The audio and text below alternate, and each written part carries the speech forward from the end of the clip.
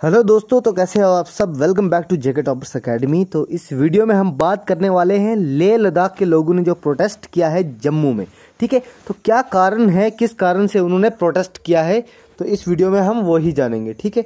तो जो बच्चे चैनल पर पहली बार विज़िट कर रहे हैं सब्सक्राइब का बटन ज़रूर दबाएँ और पास का बेल आइकन भी दबा के रखें। मैं आपको दिखाता हूँ कि नाइन्टी परसेंट जो है अनसब्सक्राइब्ड जो है जनता वो देखती है चैनल को, और टेन परसेंट में वो आते हैं जिन्होंने सब्सक्राइब किया है, ठीक है?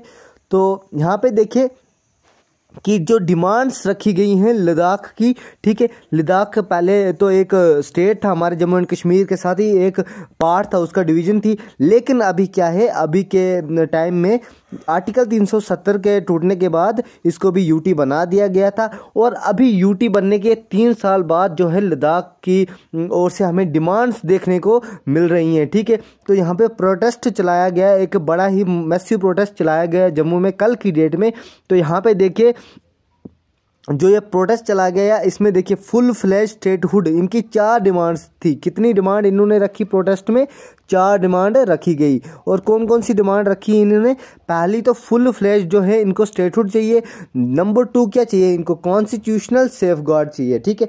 तो ये सिक्स शेड्यूल में आता है, ठीक है? तो इसका मतलब क्या है? इसका मतलब ये है कि इनको ऑटोनॉमी चाहिए। जैसे कि नॉर्थ ईस्टर्न स्टेट में है, ठीक है? ट्राइबल्स के लिए मोस्टली है ये, ठीक है? ट्राइबल रेसिडेंट्स के लिए ऑटोनॉमी तो ये चाहते हैं कि सिक्स शेड्यूल जो है कॉन्स्टिट्यूशन का तो उस शेड्यूल के तहत जो है ऑटोनॉमी मिलती है, ठीक है? तो ज़्यादा ये नॉर्थ ईस्ट में ही हमें देखने को मिला है ट्राइबल्स में, ठीक है? ताकि वो अपना जो कल्चर प्रजर्व कर सके और यहाँ पे मैं आपको बता दूँगा, यहाँ पे देखिए निचले वाले, इसमें आपको दिख रहा होगा कल, कारगिल डेमोक्रेटिक अलायंस और लद्दाख अपैक बॉडी, ठीक है? तो इसके बारे में हम थोड़ा सा जानेंगे। कारगिल जो डेमोक्रेटिक अलायंस है, मैं आपको बता दूँ कि जो लद्दाख में ले है, ले ले जो मेन डिवीज़न है तो उधर जो मेनली बुद्धिज़्म है, ठीक है? और जो करगिल है, करगिल में मेनली शिया मुस्लिम्स है तो ये इनके अलग अलग जो है ऑर्गेनाइजेशन है, जो मिल के जो है अपनी चार डिमांडें रख रही हैं सरकार के सामने। हालाँकि सरकार कब तक इनकी जो है ये डिमांड्स पूरी करने में सहमत होती है, ये तो अभी बाद में ही पता चलेगा। लेकिन फ़िलहाल अभी इस वक्त जो आवाज़ उठ रही है लद्दाख की ओर से, और एक मैसिव प्रोटेस्ट चलाया जा रहा है जम्मू में, ठीक है, और डिमांड्स रखी जा रही हैं स्टेटहुड की constitutional safeguard six schedule के अंडर जो आता है।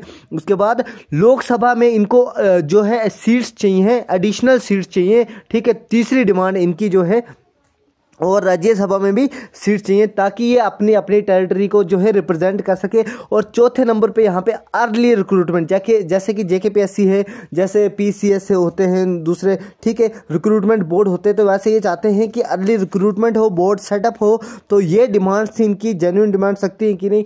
फ़िलहाल तो ये सरकार देखेगी और इनके तरफ़ से तो ये जेन्यून डिमांड से पहले इनको यूटी चाहिए थी, अब इनको स्टेटहुड भी चाहिए।